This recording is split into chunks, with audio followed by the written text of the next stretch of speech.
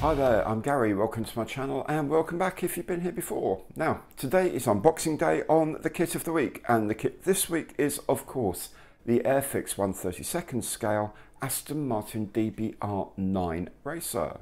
I'll be having a look inside the box, having a look at the kit's history and what competition is available on the market.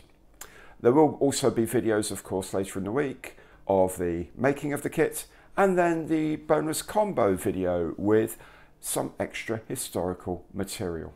Now, if you enjoy this video, hope you do, please do remember first of all to like it by clicking the like button down there. And if you haven't done so already, please subscribe to the channel. You do that by clicking on the logo in the bottom right corner. Doesn't cost you a penny, helps me enormously.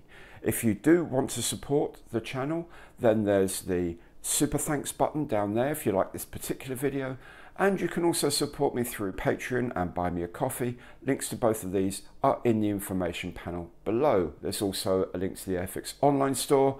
If you click through there and buy anything at all, then Airfix at no extra cost to you will give some money to this channel. That's enough of all of that. Let's get on and have a look inside the box of the Aston Martin DBR9.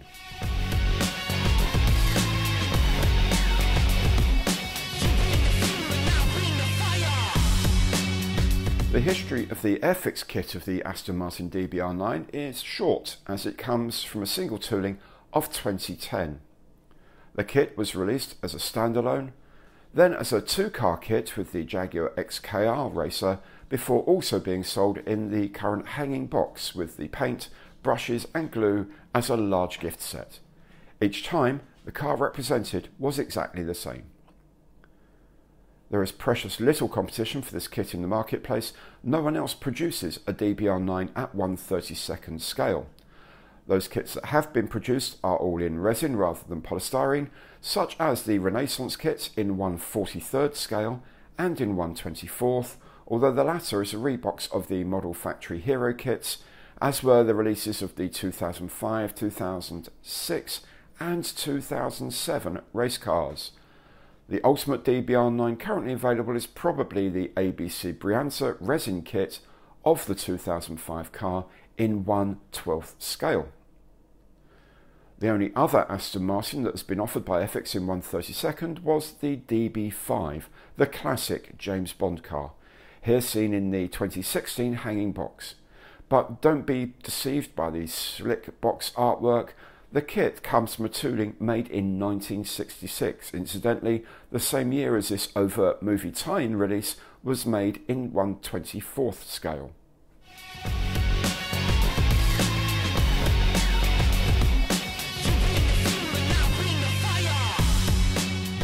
The box is designed for retail use rather than online use, hence the back card with the hole for the hanger and all the extra parts on display. On the back of the box is the decal layout diagram, plenty to do there. The kit comes with a token for one flying hour. You can collect these as a member of the Airfix Club towards a free kit in the future, or you can donate them to Models for Heroes. A link to this excellent charity is in the information box below. The box art is dynamic and eye-catching, showing off an Aston Martin race car at home on the track. At the back here, we have all the extras that are bundled in to make this a gift set. The paints, polystyrene cement, and the two paint brushes, a number four and a number two. The paints are white, gloss black, blue, matte black, red, and silver. The box opens up at one end and all the usual parts are inside.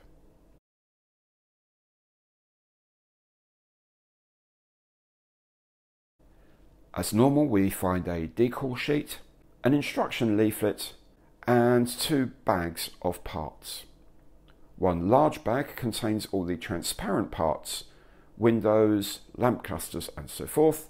Then another even larger bag with three sprues of grey plastic components and the car shell made in a single piece in white plastic. There are 52 pieces in total.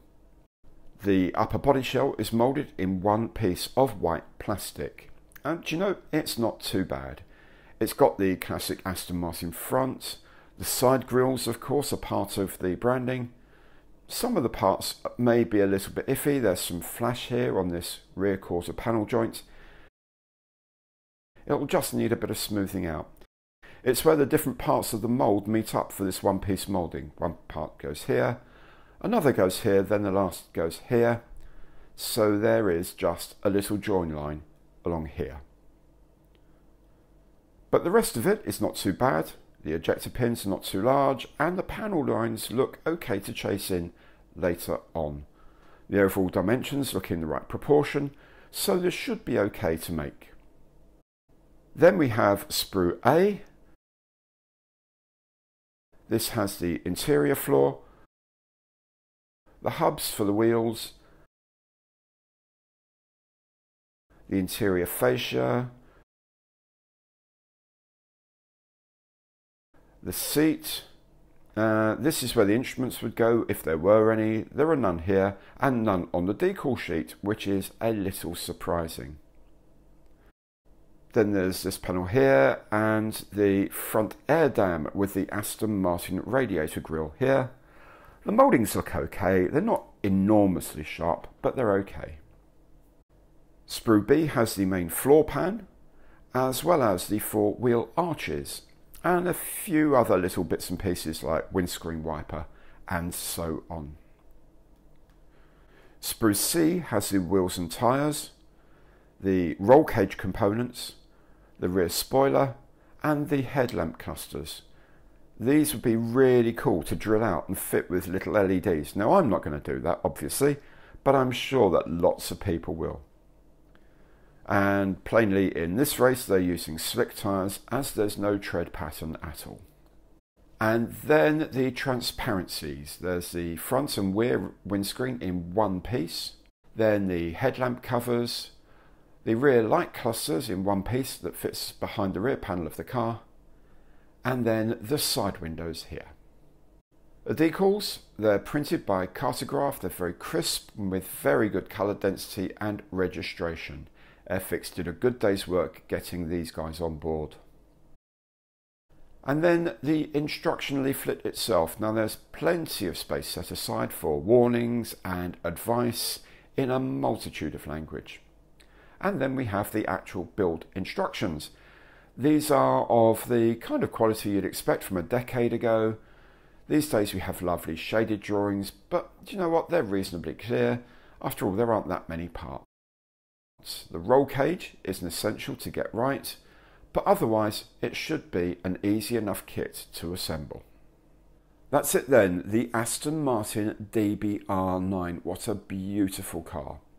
Now, if you've enjoyed the video, and I really hope you do, then please make sure to say so by clicking the like button down there, giving us the thumbs up. And also, if you haven't done so already, please do remember to subscribe to the channel. You do that by clicking the small logo down in the bottom right. It won't cost you anything. It helps me enormously. In any case, thank you so much for watching and I will see you next time.